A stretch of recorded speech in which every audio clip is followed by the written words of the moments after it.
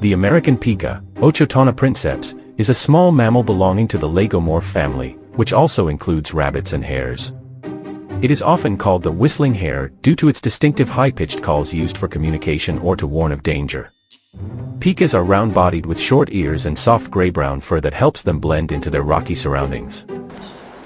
These animals inhabit mountainous regions in North America, particularly in the western United States, such as the Rocky Mountains and Sierra Nevada. They are typically found in talus fields or rocky crevices at high elevations, preferring cool and dry environments.